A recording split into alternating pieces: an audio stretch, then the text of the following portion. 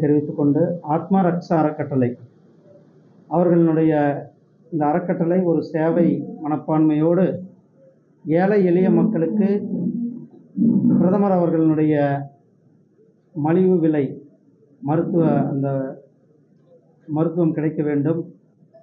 பிரதமர் அவர்களுடைய மலிவு விலை மருந்துகள் அனைத்து தரப்பு மக்களுக்கும் சென்று சேர வேண்டும் என்ற நோக்கில் பிரதமரினுடைய மலிவு அதாவது ஜனௌஷதி என்று சொல்லக்கூடிய மலிவு விலை மருந்தகத்தை இன்றைக்கு திறந்து வைத்திருக்கிறோம். இதில் மார்க்கெட்டில் கிடைக்கிறத விட ஐந்து மடங்கு விலை கம்மியாக கிடைக்கும். பிபிக்கு வெளியில் ஒரு ஸ்டிப்பினுடைய மாத்திரை முந்நூறுரூவான்னா இங்கே வந்து முப்பது ரூபா தான். அதே மாதிரி பேரசிட்டமால் வெளியில் ஐம்பது ரூபாய்க்கு வாங்குறது இங்கே பதினைஞ்சு ரூபாய். இப்படி உயிர்காக்கும் மருந்துகளில் கூட விலைகள் ரொம்ப குறைவாக இந்த மருத்துவம் நம்மளுடைய மாண்புமிகு பிரதமர் திரு நரேந்திர மோடிஜி அவர்கள் தொடங்கி வைக்கப்பட்டு இன்றைக்கு இந்தியா முழுவதும் இந்த திட்டமானது ஏழை எளிய மக்களுக்கு ஒரு பயனுள்ள திட்டமாக இந்த திட்டம் நடைமுறைப்படுத்தி கொண்டு படுத்தப்படுகிறது.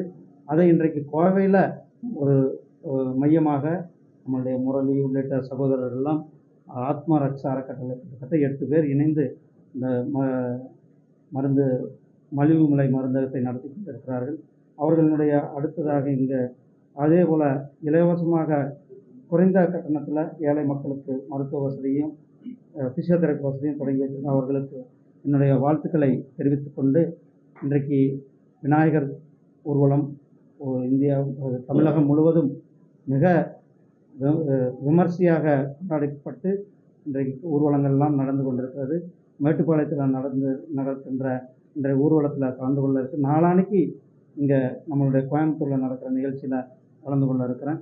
இது நம்மளுடைய விநாயகர் சதுர்த்தி நம்மளுடைய பாலகங்காதர திலகர் அவர்கள் வெள்ளைக்காரர் சுதந்திரத்திற்காக போடு பாடுபட்ட பொழுது ஒரு ஒற்றுமைக்காக இந்துக்களினுடைய ஒற்றுமைக்காக இந்த விநாயகர் ஊர்வலத்தை தொடங்கி அன்று முதல் இன்றைய வரலும் தொடர்ந்து நட- நம்மளுடைய தமிழகத்தில் மறைந்த திரு ராமகோபாலன்ஜி அவர்கள் இந்த விநாயகர் ஊர்வலங்களை தமிழகத்தில் முன்னெடுத்து அவர் ஆரம்பித்த பணி இன்றைக்கு தொடர்ந்து கிட்டத்தட்ட ஒரு நாற்பது ஐம்பது ஆண்டுகளாக விநாயகர் ஊர்வலங்கள் தமிழகம் முழுவதும் இன்றைக்கி எல்லா பகுதியிலும் பொதுமக்கள் அவர்கள் தானாக வந்து விநாயகர்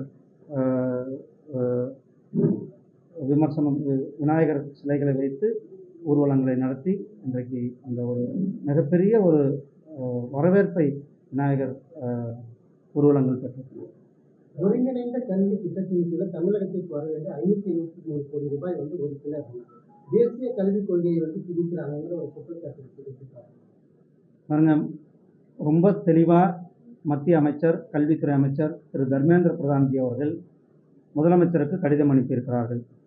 அந்த கடிதத்தில் பிஎம் ஸ்ரீக்கு நீங்கள் ஒப்புதல் அவங்க தான் ஒத்துக்கிட்டாங்க. பிஎம் ஸ்ரீ பள்ளிகளை நாங்கள் வந்து தமிழகத்தில் எடுத்துக்கிறோன்ட்டு ஒப்புதல் கொடுத்த பிறகு அதை வந்து நடைமுறைப்படுத்துங்க அப்படின்னு சொல்லி கடிதம் எழுதியிருக்கிறார். அந்த கடிதத்திற்கு அவர்கள் இன்னைக்கு வரலும் எந்த பதிலும் சொல்லலை.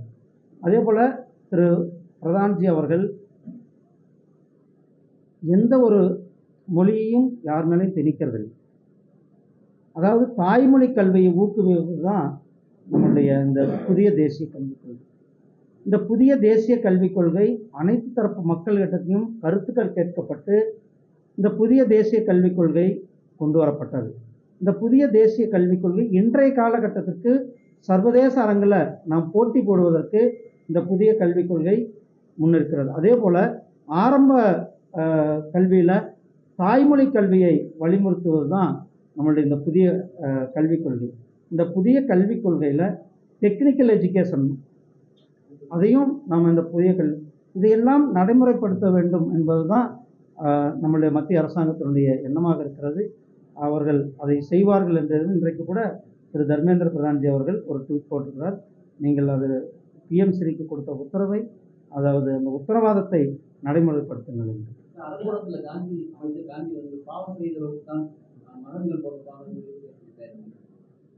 அவர் என்ன பேசினாரு எனக்கு தெரியலங்க இதை பற்றி நான் நான் உள்ளே போக விரும்பல.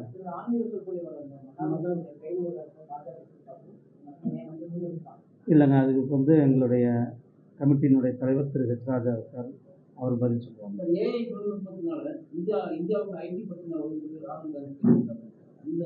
எங்கள் தொழில்நுட்பங்கள் வருது. அந்த தொழில்நுட்பங்களை இந்த தொழில்நுட்பங்களை வந்து நீங்கள் வந்து நிறுத்த முடியாது.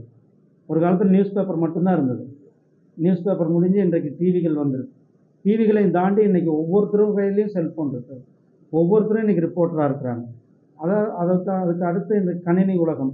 அதனுடைய ஒரு அடுத்த கட்டமானது தான் ஏஐ என்று சொல்லக்கூடிய ஆர்டிஃபிஷியல் இன்டெலிஜென்ஸ் ஸோ அந்த ஆர்டிஃபிஷியல் இன்டெலிஜென்ஸ் பல நல்ல விஷயங்களுக்கு இருக்கிறது.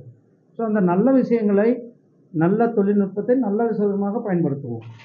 ஐடி துறை இந்திய ஐடி இதுதாங்க நல்ல அதுலேயே இந்திய ஐடி துறையிலேயே நல்ல விஷயங்களாக ஆக்கப்பூர்வமான விஷயங்கள் இருக்கிறது. அந்த ஆக்கப்பூர்வமான விஷயங்களுக்கு பல தேவைகள் இருக்கும் பொழுது தேவைகள் அதிகரிக்க தான் விஷயம்.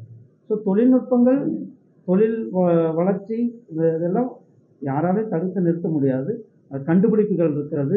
ஒரு நான் மக்களினுடைய விஞ்ஞானம் அதிகமாகிக் கொண்டிருக்கிறது. அதனால் கண்டுபிடிப்புகள் வந்து கொண்டு தான் இருக்கும். அதை முறையாக எப்படி பயன்படுத்த வேண்டும்? நாட்டினுடைய வளர்ச்சிக்கு எப்படி பயன்படுத்தப்பட வேண்டும்? என்பதுதான்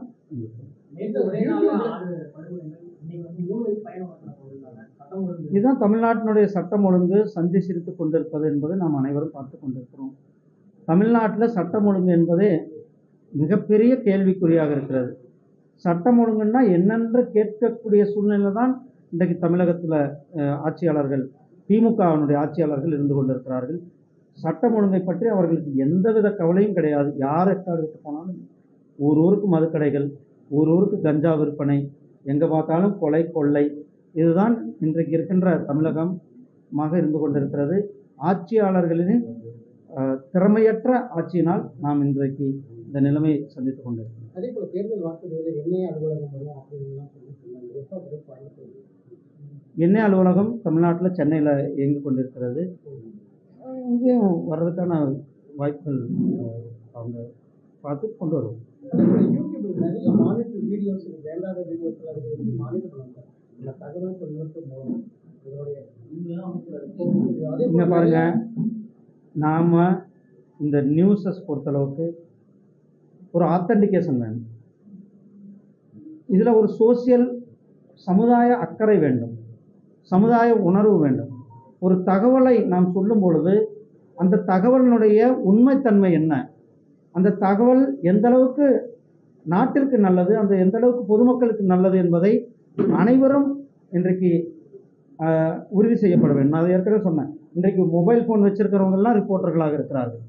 யார் வேணாலும் ஒரு யூடியூப் சேனல் வரலாம் எதை வேணாலும் பேசலாம் என்ற ஒரு சூழ்நிலை இருந்து கொண்டிருக்கிறது.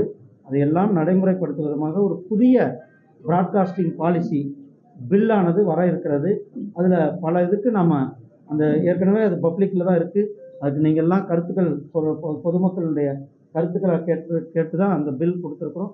அந்த மக்களினுடைய கருத்துக்கள் அடிப்படையில் அந்த பில்லை வந்து சட்டத்தில் கொண்டு அதே வரும் ஐஎஃபிஷியல் இருக்கும்போது டம்மி லோகோஸ் நிறைய வச்சிருக்கிறாங்க. ஒரு முக்கோணம் கொண்டு வந்தாலே இது என்ன அதுதான் நான் சொன்னேன்.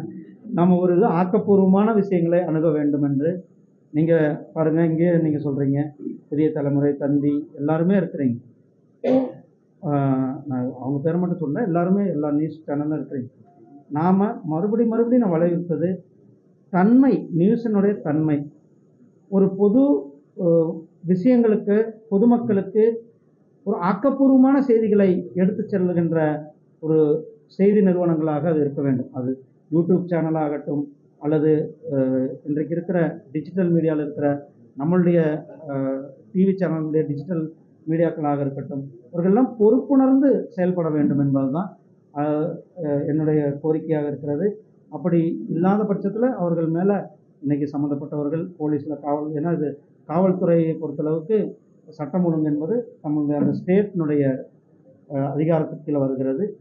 காவல்துறையிலும் ஏன்னா ஒரு தனி மனிதனுடைய உணர்வை புண்படுத்தும் பொழுது அவர்கள் கேஸ் கொடுப்பது அவர்கள் மேலே வழக்கு பதிவு இதெல்லாம் தமிழக அரசாங்கத்தின் கீழே இருக்கிற சப்ஜெக்டாக இருக்கிறது.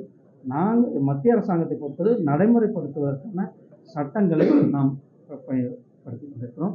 அதே போல் தேசத்திற்கு எதிராக செயல்படுகின்ற யூடியூப் சேனல் கிட்டத்தட்ட அறுபத்தி ஒன்பது யூடியூப் சேனல்கள் இப்பொழுதைக்கு நாம் முடக்கியிருக்கிறோம்.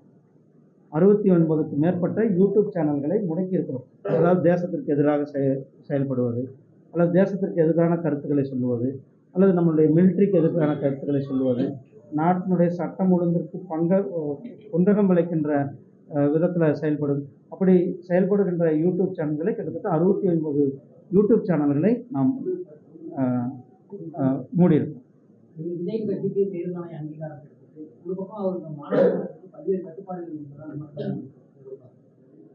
அதாவது ஒரு மாநாடு நான் ஒரு விஜய் அவர்கள் கட்சி ஆரம்பிச்சிருக்கிறார். வரவேற்கத்தக்கது. அவருக்கு என்னுடைய வாழ்த்துக்களை சொல்லிக் கொள்கிறேன். மாநாடு நடத்துவதற்கு தமிழக அரசாங்கம் ஏன் அவரை பார்த்து பயப்படுறாங்க என்பது தெரியவில்லை. ஒரு மாநாடு நடத்துவது என்பது ஒவ்வொரு அரசியல் கட்சியினுடைய உரிமை. எல்லா கட்சிகளும் நடத்துவது தான். அதே நேரத்தில் அந்த மாநாட்டிற்கு உரிமை பர்மிஷன் கொடுப்பது என்பது அரசாங்கம் எல்லா மாநாடுகளுக்கும் எல்லாருக்கும் பர்மிஷன் கொடுக்குறாங்க. ஆனால் இதை விஜயினுடைய மாநாட்டுக்கு பர்மிஷன் இல்லை அப்படின்ட்டு யாருமே சொன்னதாகவும் தெரியல. அதை ஒரு செய்திகளில் தான் பெருசாக ஆக்குன மாதிரி ஏன்னா நாங்கள் கூட பிஜேபியில் ஒரு மாநாடு நடத்துறதுக்கு பர்மிஷன் கேட்டால் அவங்க பர்மிஷனுக்கு முன்ன கொடுக்கறதுக்கு முன்னாடி சில கோரிஸ் கேட்பாங்க எவ்வளோ பேர் வருவாங்க எவ்வளோ பெரிய ஸ்டேஜ் போடுறீங்க இதெல்லாம் கேட்பாங்க. அதெல்லாம் முறையாக கொடுக்கும்பொழுது அவர்கள் பர்மிஷன் கொடுப்பார்கள். நான் நினைக்கிறேன் இதை வந்து மீடியாக்கள் தான் ஊற்றி ஊதி பெருசாகிற பெருசாக்குறாங்களோ. நன்றி.